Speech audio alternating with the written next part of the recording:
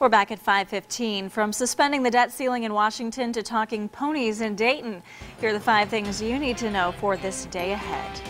Secretary of State Hillary Clinton heads to Capitol Hill in the day ahead. She will testify before both the House and Senate Foreign Affairs committees. This is concerning the attack on the U.S. mission in Benghazi, Libya last September that killed Ambassador Chris Stevens. Clinton was scheduled to testify in December but suffered a concussion and was later hospitalized with a blood clot.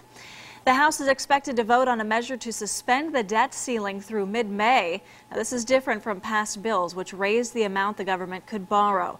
Republicans support this plan because there's no dollar figure attached to the legislation, and it has support from the White House. We'll have more coming up in the next half hour. This morning, Dayton City leaders will discuss plans for a racino in the Miami Valley. The 119-acre development is planned for the former Delphi plant at Wagner Ford and Needmore. Now, they want to hear more input on the plans for the 150,000 square foot gaming and harness racing facility presented by Penn National Gaming. The meeting starts at 8.30 this morning. We'll let you know what happens, of course.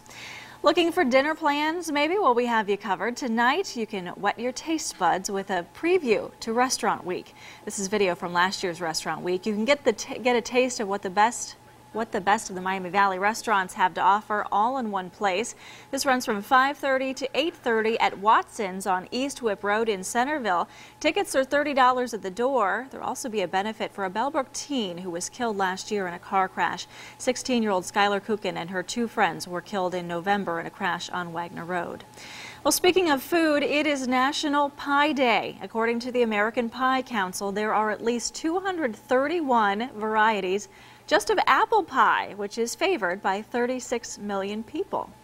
You can always find more information on these or any of today's top stories. They're online there for you for, at WDTN.com.